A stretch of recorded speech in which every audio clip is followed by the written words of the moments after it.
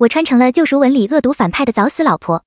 书里反派把妻子当成女主血包，前期只要女主有任何伤害，他都会让怨中老婆先上，甚至到最后还要代替女主和亲，客死异乡。这还不麻溜跑路？结果来了个莫名其妙的系统，告诉我脱离世界的办法就是走剧情。不是麻溜的命就不是命吗？我第一次见到大反派沈直时，他还不足十岁，小小一个，说话还奶声奶气的。我上前捏着他的脸，谁家姑娘长得这么俊秀？他不服气，恶狠狠盯着我。要是手上有刀，估计我的手直接不保。小东西还挺有脾气。我一叉腰，嘴巴一撇，放声大哭。在里面处理事务的爹爹忙赶了出来，将我抱起来。我装模作样嚎了几嗓子，对着那俊俏的小东西一指。爹爹笑道：“看来你们是认识了。念威，这是安王的遗父子沈直。我要告状的话，当即噎在了喉咙口，手也跟得了帕金森一样哆哆嗦嗦起来。别说他想砍我，连我自己都想把自己剁了给他谢罪。沈直，全文最大反派。”那个几乎用了半本书浓墨重彩描绘的一个角色，甚至最后男女主还是因为主角光环才灭掉的人，如今被我用手掐着脸颊。按照沈直这种记仇的心，我怕是被恨上了。我觉得不仅心痛，脑子也有点嗡嗡的。爹爹还在那合不拢嘴。皇上说沈直如今没人照料，正好你与他年龄相仿，日后一起念书，一起玩耍，有个照应。爹爹的意思很明显，他准备将沈直培养成自己的女婿。事实上，书中他也是这么做的。可结果却是被安上勾结外邦、株连九族的罪名。监斩官正是最受他器重的好女婿沈直，爹培养的很好，下次别养了。不得不说，沈直不愧是大梁第一花魁之子，有张蛊惑人心的脸，那双眼更是璀璨入心。谁也不知道，最后这个在嘲讽声中长大的孩子，到最后会成为大梁第一权臣，喜怒无常，狠心毒辣。而我家是他对皇上展示忠诚的踏脚石，先是娶了我，最后诬陷我家谋逆。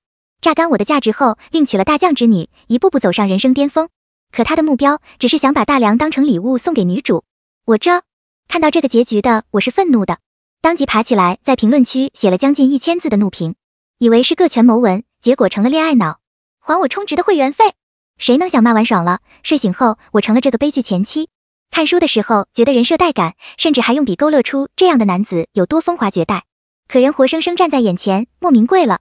谢谢。但不至于，在这样的恐惧中瑟瑟发抖，长到九岁，谁能想到幼年的沈直这样可爱啊？如果我是女主，还跑什么？直接养成细小奶狗啊！可惜沈直反派宿命改变不了。就在他来林家前几月，主线剧情开启，女主毫不留情抛弃他离开了。沈直就在这种被抛弃的怨念中逐渐成长，而我也得按照剧情嫁给他，成为文中的炮灰女二。真该死啊！原本我看到沈直当晚就想跑路的。林家不是皇帝正儿八经的亲戚，而是因为军功被皇帝封为安王。这样的设定对后面诬陷造反也起了决定性作用。结果当晚刚想溜走，一阵电流连接了我的大脑。宿主一千二百一十二，恭喜你成功领取体验女配卡一张，请问是否兑换？要不是这系统没有实体，我保证自己不会拿螺丝刀把它给拧了。人都在这里了，还问我兑不兑换？兑换！我咬牙切齿，兑换成功。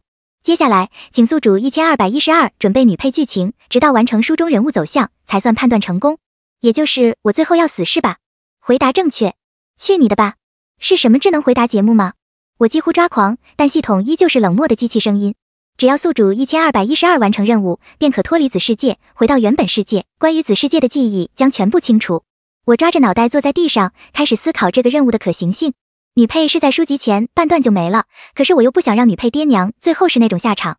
系统是不是只要最后我死掉，其他故事改了也没事？回答正确。哄小孩呢？这不是，我没在搭理这个系统，只是沉思接下来的路。但被子太软了，还没想两分钟我就沉沉睡去。再睁眼就是沈直坐在我床边，好像我是个死物。见到沈直那一眼的时候，我差点国粹狂飙，但触及他眼神，对不起，起晚了是我的错。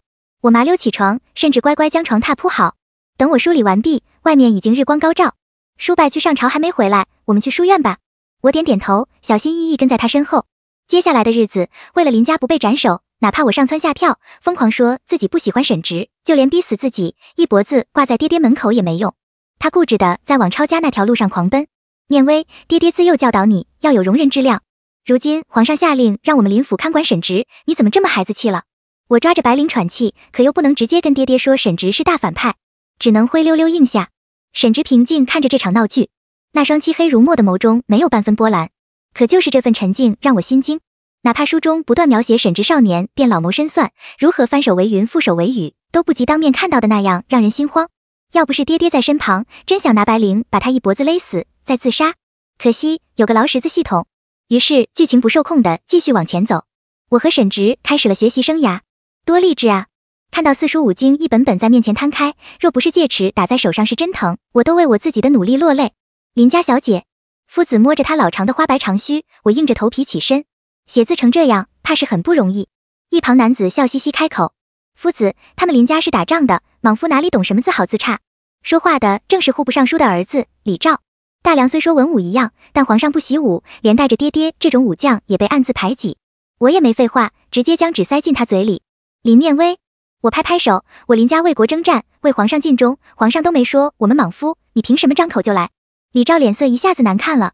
我直接把高度拔高，只要一张口，不管对还错，就是冒犯了皇上。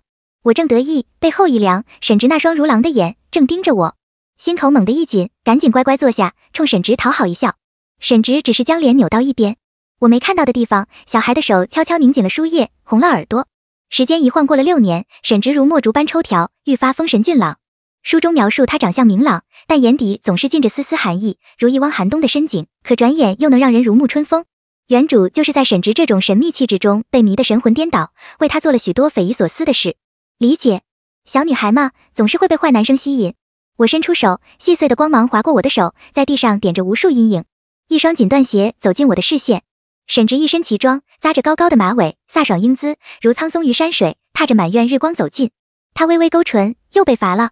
我气恼起身，却发现他已经高出我一个头了，比他矮可没有气势。我当即站在门槛上与他平视。我又不是小孩了，怎么可能天天被罚？沈直没有多言，只是捡起我身旁散落一地的纸，上面我重复抄写的笔墨还未干。我有些心虚，讨好一笑。沈大人今日有何要事？是的，很没出息。为了死之前的日子能过得好些，总要低头讨好。这几年，只要有人暗骂他是娼妓之子，我就帮他出头，将对方骂得狗血淋头。小时候不懂事，你咬我一口，我就扇回你，怎么着都要报复回来。很长一段时间，我都是靠沈直搀扶回府的。后来大家要脸面了，沈直在皇上面前也得脸了，大家才收敛了些，但还是挡不住有人对沈直下黑手。最严重的一次是他当值的时候被人下药带去了兔子巷，差点在男人堆里失了清白。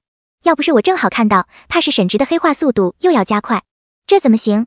我当机立断跟上去，掏出他送我防身的匕首，第一次将其刺进了试图攻击我的其中一人肩上。我用沾满鲜血的手将沈直从那里带了出来。但这个消息还是传了出去。进宫赴宴时，有人将这件事当笑话讲。沈直，听说你怕你娘妓院倒闭，自己亲自上阵了。沈直还不能动手，但手已经缩回了袖间。我明白，这是他动怒的前兆。若是仔细些，他袖口里的手必定是死死握着，青筋暴起。惊恐间，我甚至都看到了他黑化的进度。这可不行，我还没活够呢。我当即拍案而起，直接上前将多话的人脑袋塞进旁边的荷花池中，直到那人挥舞的手臂逐渐缓慢，才将他拉出来。皇上已经闻讯赶来，所有人都盯着我，就连我爹都不赞许的拧眉。完蛋，玩大发了！我满头冒汗，忙跪下道：“启禀皇上，臣女也不知为何，只要有人说沈直不好，臣女，臣女。”我一咬牙，趴下半哭半嚎。太后笑着道：“看来咱们大梁马上要有喜事了。”我脑袋一懵，救命，忘记剧情了。太后的理解属实有些炸裂。我本想说把沈直当哥哥的话，被硬逼了回去。十余年的时光告诉我，上面的人怎么说，你不能当面反驳，只能徐徐图之。经此事后，所有人都不敢在我面前说沈直，毕竟我自小有仇就当即报了，大家都要脸面不是？但流言四起，说我眼光差，看中了这么个没用的男人，哪怕他继承安王的亲王之位，照旧是个闲散王爷罢了。他们怎么明白，我这么做只是希望以后能和沈直有谈判的资格？毕竟以后他们的命还是我的命都在沈直手中，只要他想，没人能阻止，除了女主。我叹口气，实在不明白局面怎么就成了现在这样。不过好歹沈直在我面前也算是有了几分好颜色，很多时候也会对我宽容几分。就像现在，他一身戎装，冲我道：“我要跟叔父前去剿匪，估计要两三个月。”他妈撒着腰间挂着的剑柄，你自己小心些。他目光沉沉，不知在想些什么。我拧着眉看了他许久，直到他不自然别过脸，才问道：“你会带女子回来吗？”沈直的脸当即一黑，大手揉乱了我的发髻。那些画本子少看些，我不客气，甩开他的手，输了很久的，你别弄乱了。沈直没有生气，只是嘴角微勾，走了。原来他是马上要走的。我看着他挺拔离开的背影，心中不知为何莫名升起一股不安。就像是时光的洪流，正放肆朝我冲来，要将我碾压为尘。沈直是被一顶轿子连夜送回来的。匪徒被围攻，恼怒下一剑直逼沈直，谁能想到剑上带着剧毒，尽管只是擦破点皮，也进入了五脏六腑。怎么会这样？我看着已经没有血色的男人，第一次觉得生命如此脆弱。明明走之前他还意气风发，像个得意的小将军。爹爹搓了搓脑袋，要不是为了救我，沈直也不会如此。这让我九泉之下如何和安王交代啊？我本来以为对于沈直，我不会有多大的情感起伏，可看他躺在那，往日的相处一幕幕出现在脑中。垂眸思索的他，帮我抄书的他，坐在枝丫上将柿子扔在我脑袋上，微翘唇角的他，原来在我没注意到的地方，他也是个孩子气的少年。皇宫的太医一波波来，直到太医院之首的张太医沉吟：“这毒只有千年保心丸可解。”此话一出，众人皆惊，连我都暗自冒汗。娘亲不断擦拭沈直冒出的汗珠，担忧道：“若是寻常千餐雪莲都好寻，我听说保心丸只是传言，到底能使白骨重塑，死而复生？”他不断拭泪，难道阿直真的难逃此劫？这一次，在我努力下，日日带着沈直往娘亲院子里请安。他早就对沈直有了母亲的念头，相处下也比书中描写的要亲密的多。如今沈直也算林家半个儿，爹爹更是急得团团转。只有我沉默不语。千年保心丸不是没有，只是世间只有两粒，一粒在女主身上，但现在已经被他用在男主身上了。还有一粒是在城墙根下一个老乞丐身上。书上说这东西是老乞丐专门研制，本想救自己性命垂危的妻子的。但因为缺少一味药引，还没等老乞丐研制成功，妻子就先走了。老乞丐绝望之下将自己放逐，被女主一语惊醒，因此特地送给他一粒，让他防身。就像掉下悬崖得到武功秘籍一样荒谬。每次回想这个剧情，就觉得女主不愧是女主。娘亲坐在沈直床边的啜泣声不断，搅得我心烦意乱。罢了，我长长叹口气，直接唤来人骑上马，径直往城墙跟去。风声在我耳边呼啸而过。沈直，就让我再赌这一回。女配和女主的待遇是真不一样。我嘴皮子都磨破了，老乞丐就是不承认自己有这颗药丸。好在我想起老乞丐和妻子感情甚笃，咬了咬牙。周先生，沈郎性命垂危，但求先生垂怜。我直挺挺跪下，把老乞丐唬了一跳。这是林府小千金吧？听说沈大人剿匪受伤要死了，也不知道他来这里干嘛。周边有认出我的，指指点点，声音不大，但足够让老乞丐听清楚。他叹息一声，将腰间的小葫芦递给我。我几乎是要喜极而泣，重重磕了个头，正要离去。姑娘。老乞丐叫住了我，情缘深浅，望姑娘能一直睁着眼睛看。我沉默片刻，冲他一笑，情这一字与我无缘。老乞丐因为一个女人失去了此生挚爱，这是他识人不清，而我不会和他妻子一样为情所困，最后郁郁而终。我要做的是如何把握沈直最后一丝良心，让他为我所用。保心丸不愧是神药，没过几天，沈直就已经能说几句话了。一个月后，他自请入宫，随后就是赐婚的圣旨，还有沈直继承安王之位。我紧紧攥着那道圣旨，谁能想，剧情里明明是皇上醉酒之言，可这一次却是沈直亲自求娶。这件事最高兴的莫过于爹娘，他们兴致勃勃指挥着人，林府一下子变得忙碌起来。很多时候，我都安静坐在花厅里，看爹娘商讨议应事务。离成婚还有三日，府上已经红绸遍地，树上也挂起用绸缎折叠出的各色花瓣，廊下也挂起喜气洋洋的灯笼，奴仆腰间都围上红色布条。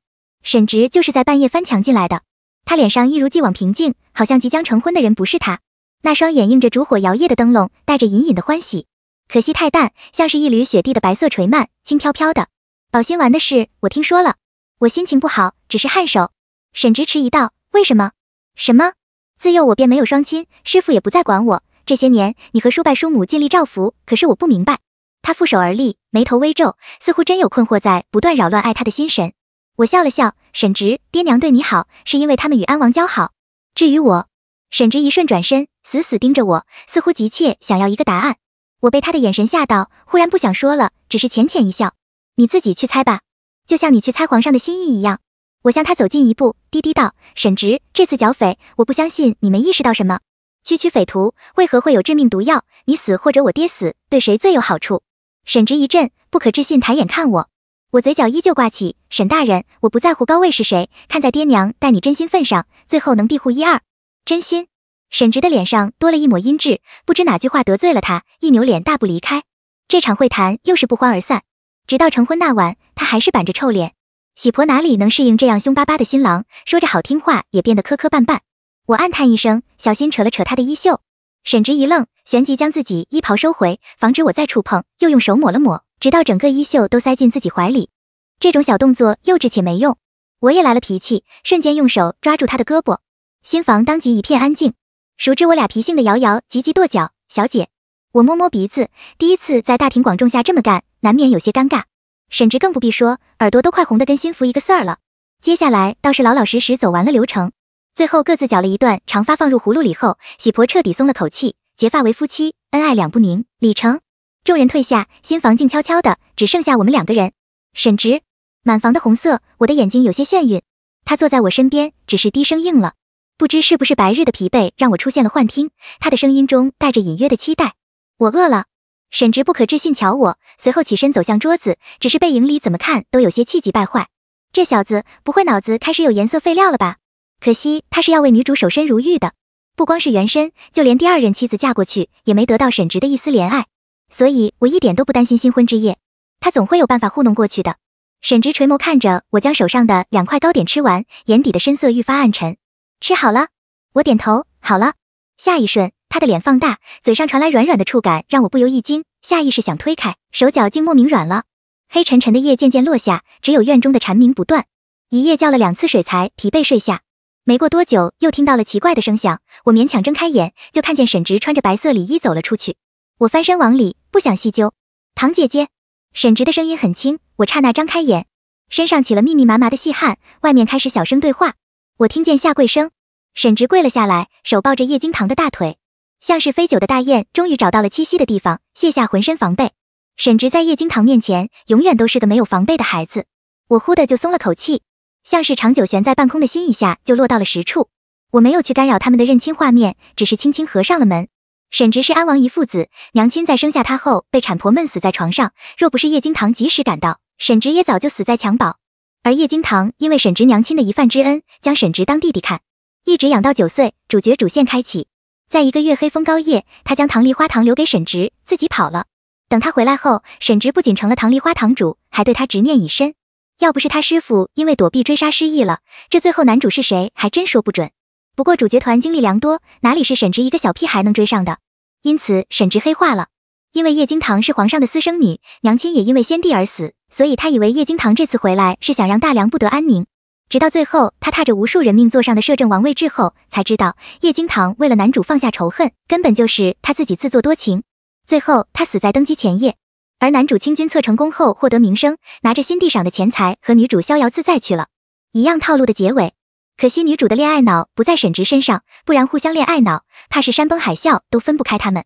系统说过，最后男女主一定会幸福美满，但其中剧情可修改。如今女主比书中回来的时间早了一年。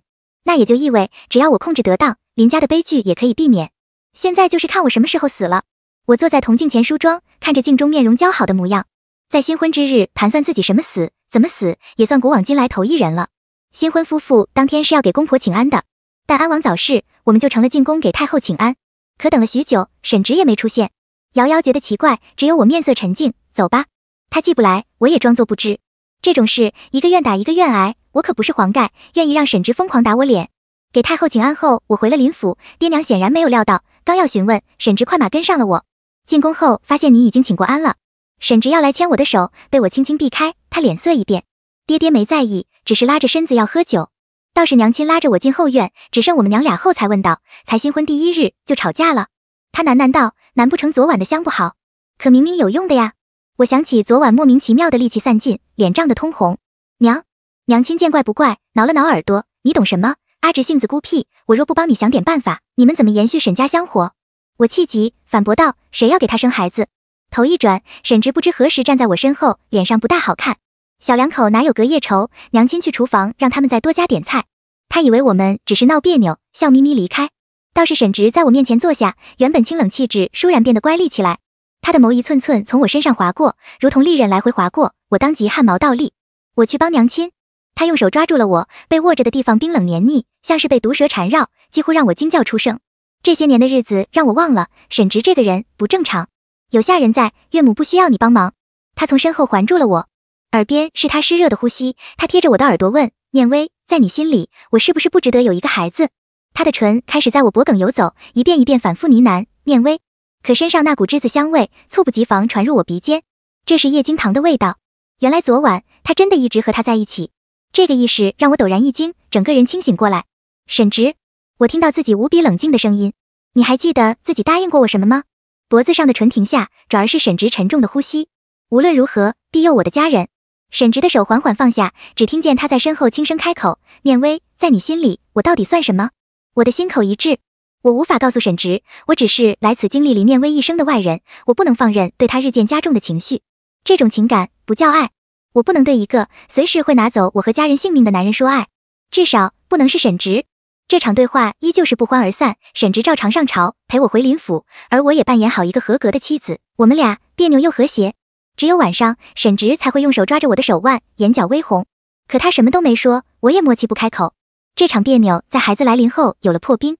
谁也没想到，就连我自己都捂上肚子，不可置信。明明林念威是不可能有孩子的，系统已经沉睡，他除了开始和结束出现，其余时间只能靠我自己带着仅剩的剧情记忆。就像游戏冲关，这个世界的难关得我自己过。这个孩子来的突然，就连宫中也赏赐了不少东西，而沈直也第一次红了幽眼。他小心翼翼抚上我的肚子，我第一次看他不知所措的模样。念威，这是我们的孩子。这句话在他唇畔绕了绕，他缓缓抬眼，谢谢你。我一震，竟什么都说不出来。沈直他为什么要这样？不知道是不是怀孕的原因，我不再对沈直抱有极大的戒心。我们开始在园中的凉亭里赏花畅谈，会如寻常夫妇一起上街采买，也会因为他的生疏闹出不少笑话。直到怀孕五个月，叶惊堂找上了门。他的诉求很简单，只要让沈直答应放了陆州。陆州路见不平，谁知被一撞告到府衙，偏偏被沈直意外撞到，这件事自然不能善了。叶惊堂虽说是唐梨花堂主，但时过境迁，他早已没办法在大梁一呼百应，因此只能求上沈直。阿直，你说是我弟弟，为何就只是这么一个小小的要求，你都做不到？失忆后的叶惊堂不复以往冷傲，如同沾了雨的玫瑰，脆弱而娇艳。沈直的手死死捏紧，他的下颚紧绷，几乎要将叶惊堂拆骨入腹。那我呢？唐姐姐，你消失的这几年，究竟有没有想过我？我仿佛被人抽空的骨髓，哪怕早就知道沈直对叶惊堂的感情，亲耳听到后依旧窒息难耐。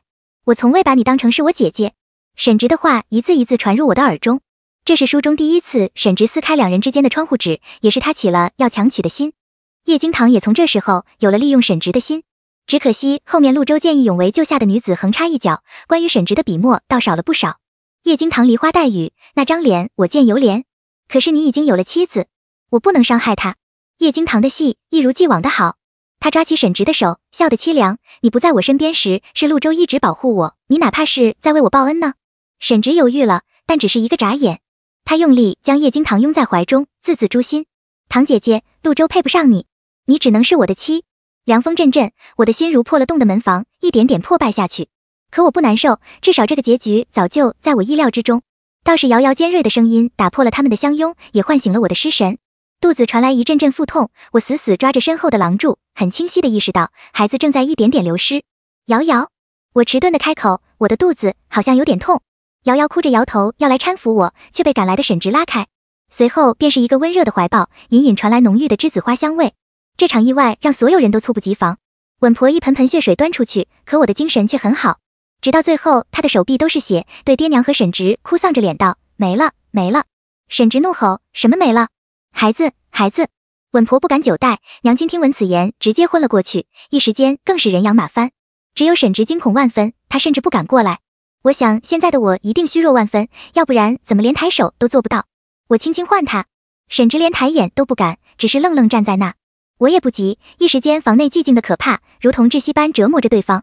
最后，他小步挪过来，双眼布满红血丝。我第一次看他如此失态。我笑了笑，不是你的错。沈直像是被撕裂了，痛苦跪在我床前，终于低着头，一声声哭泣起来。我抚上他的发，面容不改。那道我一直都在逃避的伤疤，算是彻底结痂，属于我的劫难要结束了。后来，沈直一直没有来我院中，但在外面，他的名头愈发狠辣，成了人人敬而远之的魔头。他的黑化进程开始了。一日晚上，我正散了鬓发，准备入睡，忽然闻到一股香味，身子一软，陷入了沉睡。我是被一阵颠簸震醒的。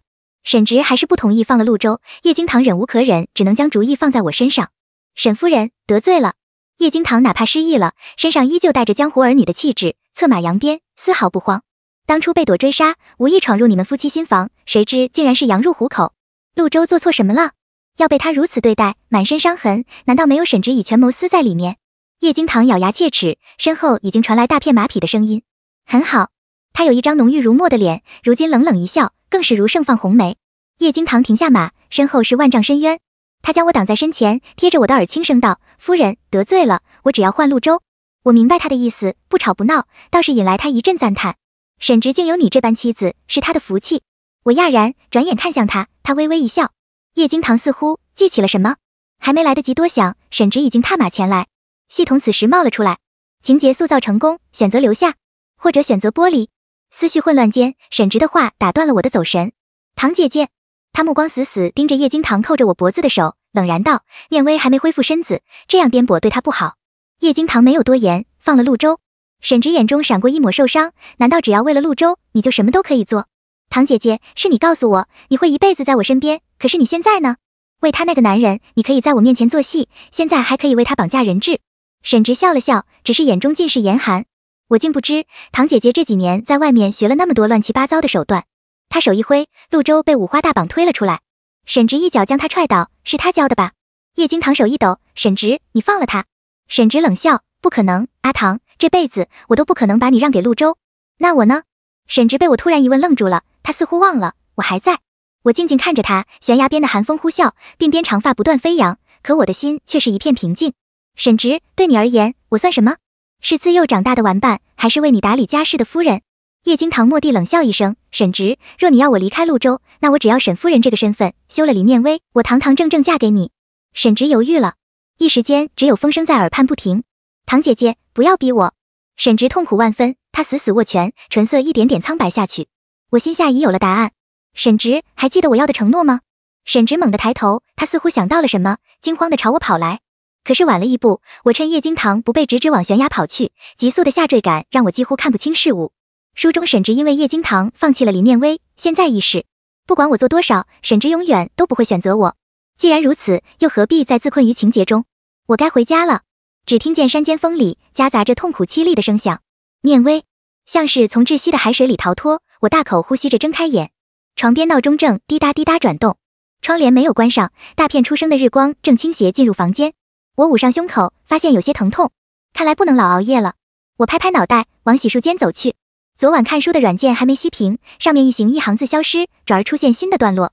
宁王沈直于天元二十年举兵造反被查，自缢于宁王妃房内。因宁王妃早逝，因此没有牵连母家。皇上下令不得葬于皇陵，是史上唯一的一例与王妃不同学。